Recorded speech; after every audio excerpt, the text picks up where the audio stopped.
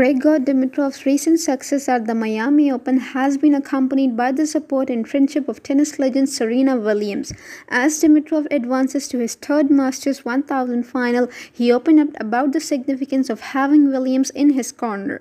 During a post-match press conference, Dimitrov revealed that he and Williams maintained regular communication and that she had even provided him with a motivational pep talk before his matches.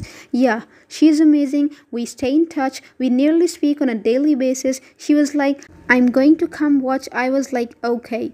In an interview with Tennis Channel, he talked about this pep talk revealing. She came through. She was like, I don't want to distract you, but I gotta tell you something. It was just like this one sentence. She always knows what to tell me in any given moment. My friendship with her means so much to me. He elaborated on this during the press conference.